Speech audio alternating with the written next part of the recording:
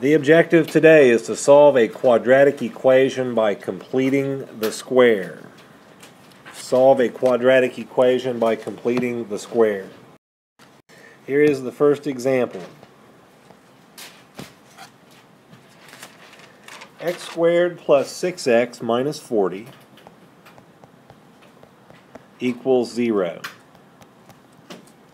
To solve this by completing the square, your first step is to move the minus 40 to the right side and change the sign.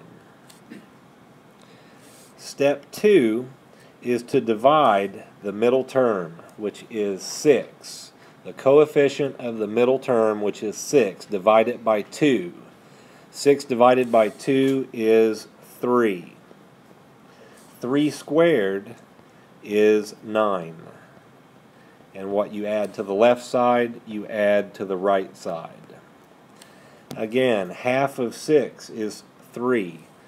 3 squared is 9. You add the 9 to this side and add the 9 to that side. Simplify the right side. 40 plus 9 is 49. At this point, you should have a perfect square quadratic expression on the left-hand side because you have just created it by taking half of 6, which is 3, and squaring it to make 9 there and there. And we added it to the other side as well. Therefore, you should have x plus that 3, which was half of 6 the quantity squared of x plus 3 will be equal to 49. Off to the side, we will do x plus 3 quantity squared. This is what we came up with on the left-hand side. It's a perfect square. It's the same thing as saying this. And if we multiply these two together, we get x squared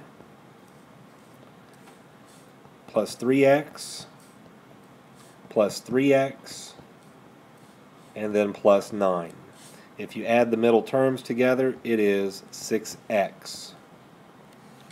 x squared plus 6x plus 9. That's exactly what we had over here on this side in this spot. That is a perfect square. Here is that thing written in uh, square form. Now to solve for x we have to find the square root of both sides. The square root of the quantity squared of x plus 3 is simply x plus 3. The square root of 49 is plus or minus 7. So now you have two equations to solve. You have x plus 3 equals 7 and x plus 3 equals negative 7. On the left hand side, x would equal 7 minus 3 which is 4 on the right hand side, x equals negative 7 minus 3, which is going to be a negative 10. So negative 10 or 4 is going to be the solution to this problem. Example number 2. For this one, the problem is x squared minus 5x minus 36 equals 0. Step 1 is to keep x squared minus 5x on the left and move the minus 36 to the right. Change the sign. Next, you need half of this negative 5. Half of negative 5 means you're dividing it by what number? 2. So half of negative 5 would give you negative 5 over 2. Negative 5 over 2 on the scratch piece of paper.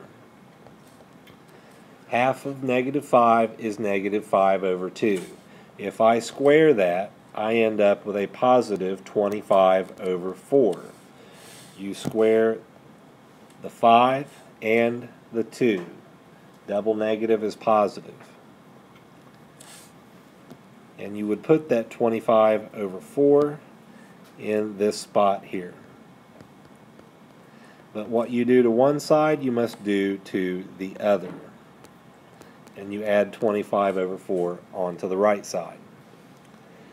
You can't do anything yet with the left-hand side until you have simplified the right-hand side. 36 plus 25 over 4. We can do that over here. 36 plus 25 over 4. To get a common denominator of 4, I would have to multiply this and this by 4. 36 times 4 is going to be 144. And you have a denominator of 4 on the bottom. 25 over 4 stays the same.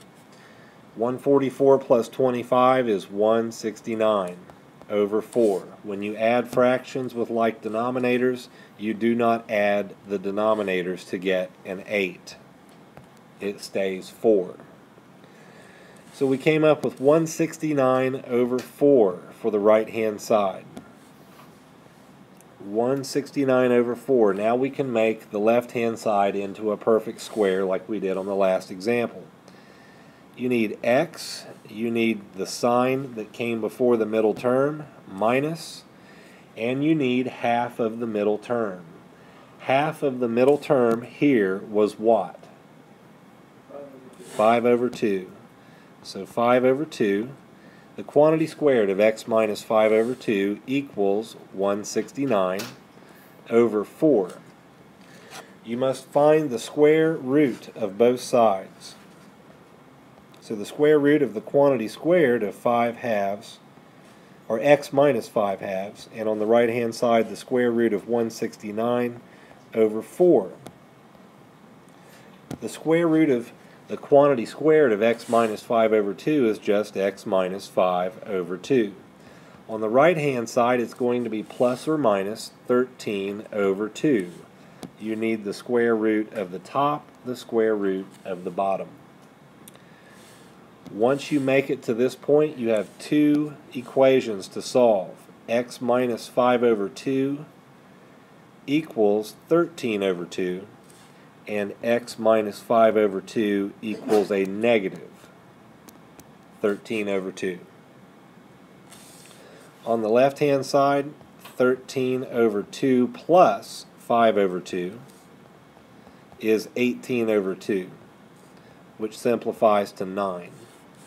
On the right hand side, negative 13 over 2 plus 5 over 2 is going to be a negative 8 over 2 which simplifies to negative 4. So your answers are negative 4 or 9.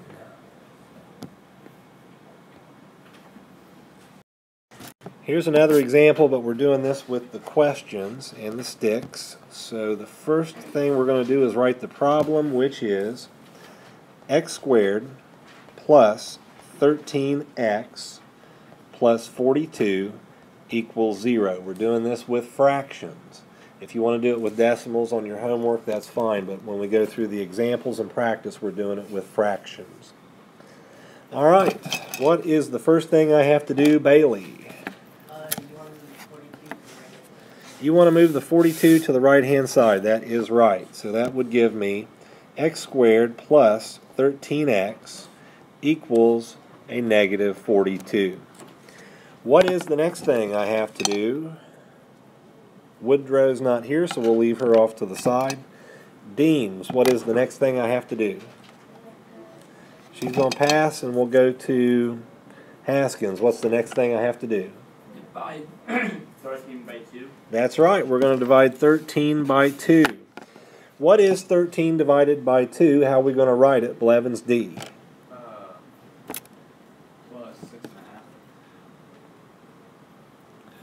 Uh, yeah, you could do plus six and a half. How is, but then we have to do what to it? He's right. It would be six and a half. And what would we do to six and a half?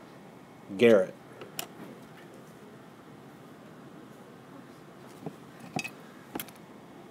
Montavon, what would what would we do to the six and a half?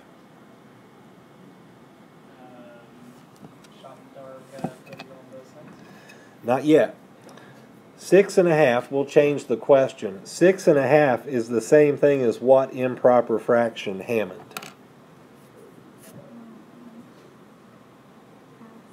Six and a half is the is what as an improper fraction, Wilburn? Six and a half is what as an improper fraction, Boyd? 13 over 2 is right. 13 over 2 is the same thing as 6 and a half. We're going to stick with the improper fraction. What do we do to that 13 over 2 at this point, Spradlin? That's right. We're going to square 13 over 2. What is 13 over 2 squared? Deerfield.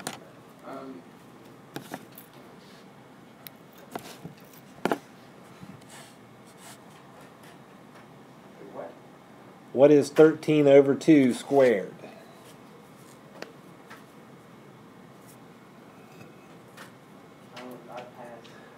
Martin's not here, so we'll leave that off to the side. And 11C, what is 13 over 2 squared? Forty-two and one fourth. As an improper fraction. Like we did on the example. Twenty-six over four. Is how much? Twenty-six over four. Uh, close. Armstrong, what is it as an improper fraction? 169 over 4. Yes, that is right. 169 over 4.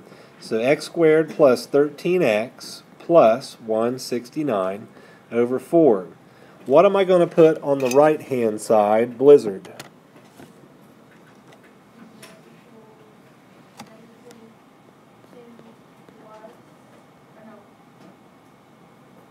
Negative 42 is right. Plus? Plus one sixty-nine over four. Yes, plus 169 over 4. That is right. What is my next step now? That goes to Courtney. What is my next step? Carver. Um, you gotta do the right side of the equal sign. That's right. We have to simplify the right hand side. So that's negative 42 plus 169 over 4. Negative 42 plus 169 over 4. What's my common denominator going to be on this? Bradley.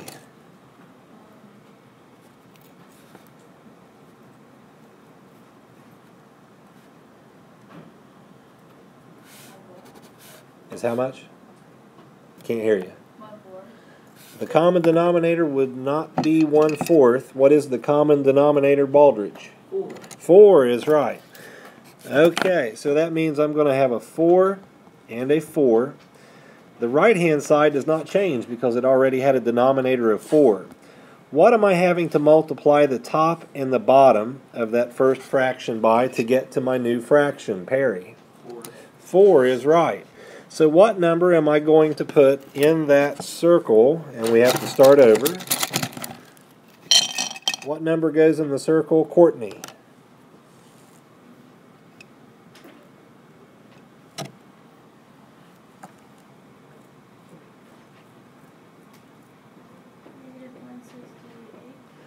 Negative one sixty-eight. Negative 168, yes.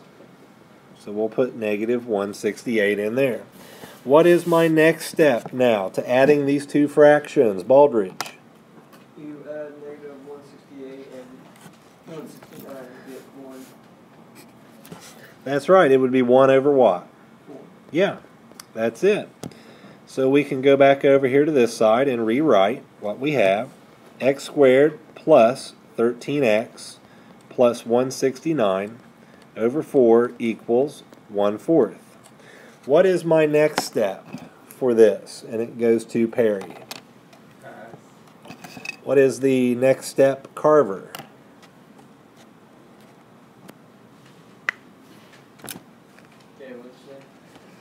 What is the next step? What am I going to do next? Um, you're gonna, uh, take,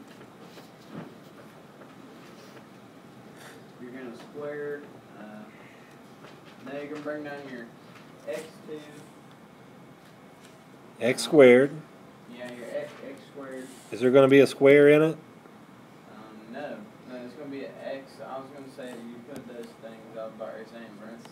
Parentheses, then what? Yeah, and then uh, plus plus or plus one sixty-nine over four, Uh, not plus 169 over 4. 13 over what?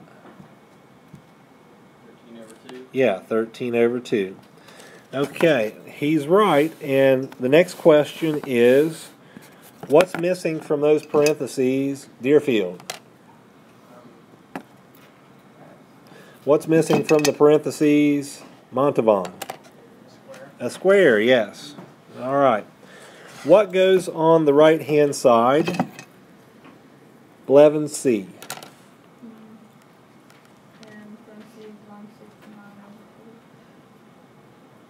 Uh, not on the right hand side. What do I write on the right hand side now, Boyd? Um, the square, square root of one over four. Not the square root of 1 over 4, not yet. Haskins, what do I write on the right hand side now? One fourth. 1 fourth is right, yes. Okay, so what do I do to both sides now, Armstrong? Find the square root, yes. So I have to write that. I need the square root of the quantity squared of 13 over 2 and the square root of 1 fourth. All right, what is the square root of the quantity squared of x plus 13 over 2? Hammond. What is the square root of the quantity squared of x plus 13 over 2 Spradlin? That is right, x plus 13 over 2. All right, what is the square root of 1 over 4 Bailey? It's not 1. What's the square root of 1 over 4 Bradley?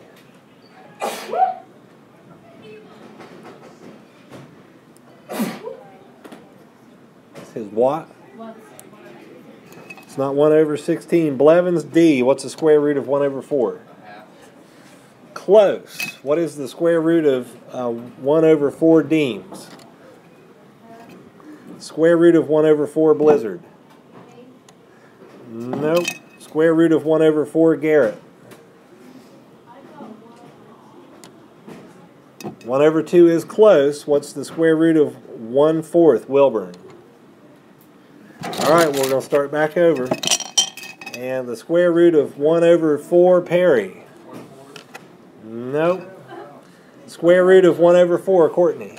One. Not 1. Square root of 1 over 4 Montavon. Square root of 1 over 4 Blizzard. Close. Square root of 1 over 4 Blevins D. Plus minus a half. Yes. Plus or minus a half. Okay, what do I do next? I knew it when Nelson said it. What do I do next? And that goes to Armstrong. All right, what do I do next, Bradley? What do I do next, Deems? What do I do next, Garrett? Um, you have to write x plus thirteen over two equals a half, and then write it again, so it'll be negative half. That's right. X plus 13 over 2 equals 1 half. And X, or X plus, I should say, it's too late to fix that. X plus 13 over 2 equals a negative half. Since this is plus or minus, you write the equation twice once with a positive, once with a negative half. All right. Now I'm going to go over here and solve this one first on the left hand side. What is my first step in solving this left hand side? That goes to Wilburn.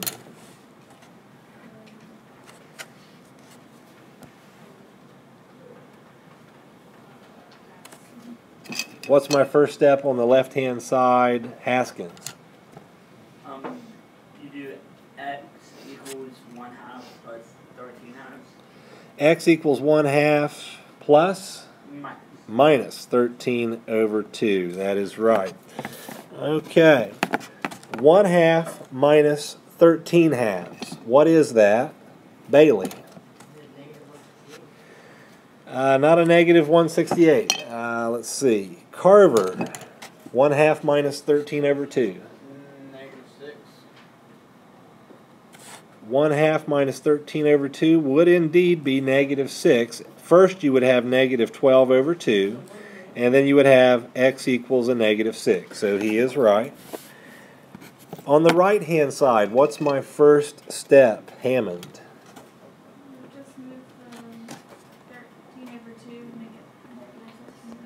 That's right. Move the 13 over 2 to the right and make it minus 13 over 2. What is negative half minus 13 over 2? That goes to Boyd.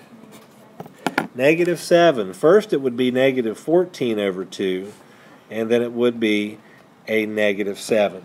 How would I express my final answer to this problem? Can somebody read it off? Spradlin. Negative seven or negative six. Negative 7 or negative 6 is the right answer.